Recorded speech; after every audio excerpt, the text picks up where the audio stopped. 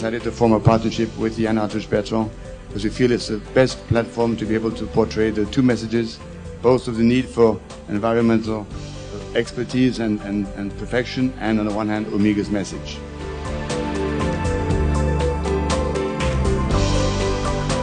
You know, for me, China is the key of the world, so it's so important to be here and to show my work here. And I think uh, here you are going to see so very important thing for environment. I'm very, I'm, uh, I'm very in confidence with China. So I'm so happy to be here.